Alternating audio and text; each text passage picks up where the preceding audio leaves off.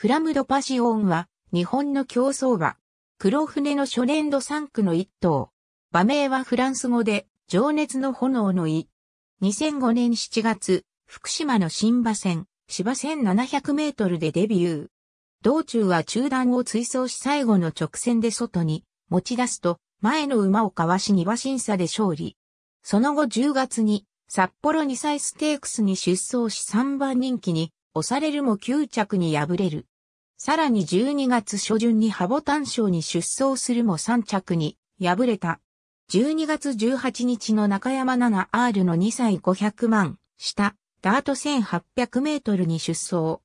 道中は先段につけ、4コーナーで単独先頭に立つとそのまま後続を突き放し、2着のフィールドオアシスに大差をつけ勝利した。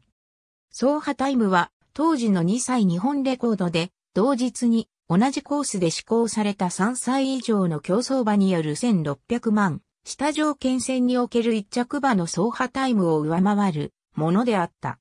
このレース後の時点では、陣営は再び芝路線に戻る可能性も示唆していたが、その後 UAE ダービー挑戦プランが明かされ、国内自走もダート戦に決まった。明けて2006年、3歳になったヒアシンスステークスでは、単勝オッズ1.1倍の圧倒的一番人気に支持される。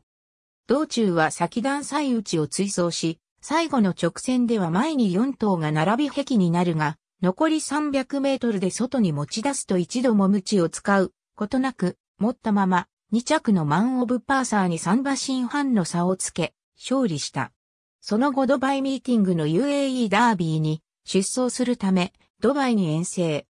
UAE ダービーで分かったディスクリートキャットには6馬身離されるものの、ウルグアイ三冠馬で後に2006年、ワールドサラブレッドレースホースランキングで、世界1位になるインバソルや後にドバイワールドカップを優勝するウェルアームドには先着し、3着となった。この年の UAE ダービーの出走メンバーは、同レース史上最強と評されている。ドバイから帰国後の同年5月、ユニコーンステークスに向けて調整中に、右前足屈腱炎を発症。全治9ヶ月以上と診断され長期休養に入った。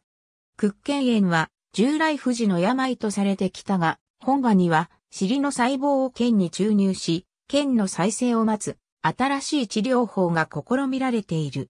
復帰後、調整が進められ、2008年5月18日のテレビ埼玉杯に出馬登録を行ったが抽選を除外される。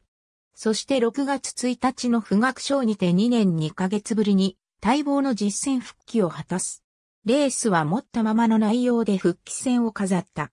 しかし続く、ナダステークスではトップハンで 58kg ながら一番人気に支持されるも先行するダイナミックグローを捉えきれず2着に終わった。復帰3戦目は小倉競馬場にて2008年8月2日の宮崎ステークスに出走し、またも一番人気に支持された。しかしながら、ゲートに入ると、後ろの扉にもたれかかってしまい、スタートで煽って2馬身の不利を受け、道中は後方に位置するしかなかった。